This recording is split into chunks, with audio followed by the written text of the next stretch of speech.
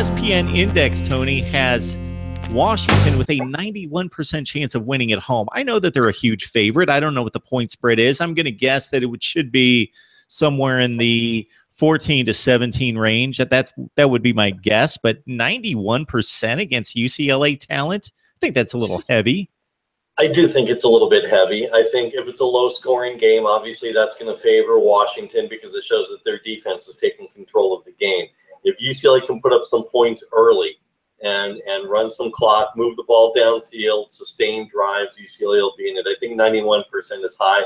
Uh, last I looked at the point spread, when it admittedly was Tuesday, and it was about 12 and a half in Washington's favor. So yeah, you're you're right there. You're right on it. Um, and I think that it's just a matter of, you know, the knocks on UCLA right now, and they are self-inflicted knocks, and to a large degree, and they are somewhat well-deserved. And like I said, UCLA has got some injuries on defense that they're having to deal with. Um, defensive tackle Matt Dickerson is quite possibly out for the season.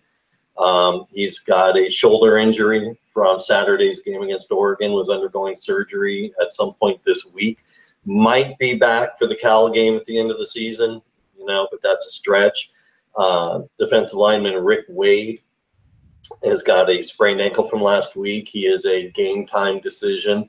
Um, and a strange one, interestingly enough, Jacob Tuioti Mariner actually left the game around halftime and was taken to the hospital. He's a defensive lineman, linebacker hybrid. He was taken to the hospital they were worried about his internal organs because he took a hit and was having such a hard time breathing, something well beyond what you usually get with the he got his wind he got the wind knocked out of him. They actually took him to the local hospital in Pasadena. Uh, the tests were fine. He had more tests on Sunday and was declared fine. Will likely play, but just a strange scenario in what is you know a strange season for the UCLA defense.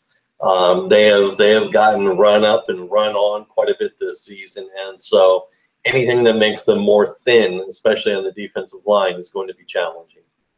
When you think about it, and the collisions that take place on the field, and the the size, the strength, and the speed at which these guys collide, it's surprising that that doesn't happen more often. Just the the impact that's taken internally by some of these hits in the midsection and in the back and in the gut that uh, that wouldn't be the result of it. Uh, it's it's amazing what these guys uh, put themselves through on the football field.